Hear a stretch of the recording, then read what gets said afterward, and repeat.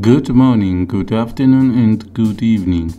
I will tell you an incredible fact that you definitely didn't know about your favorite actor.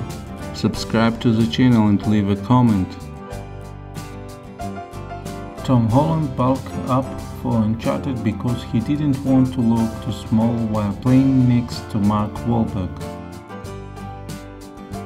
When comparing Spider-Man and Uncharted, Tom Holland revealed that Uncharted was more difficult to film due to the realistic stunt work.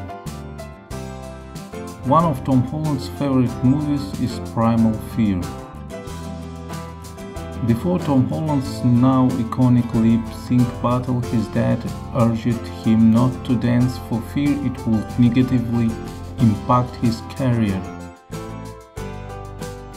Tom Holland's parents started a charity called the Brothers Trust, which Tom sponsors. It raises awareness of lesser known charities. Tom Holland was cast as Fred Astaire in a biopic movie about the iconic dancer. Even though Tom Holland co-starred with Will Smith in the animated film Spies in Disguise, the two never met until they did press for the film. Tom Holland has acted with Robert Pattinson in two movies, The Lost City of Z and Devil All the Time. Despite acting in many major films, Tom Holland still accepted the role in The Cherry, a dark indie film.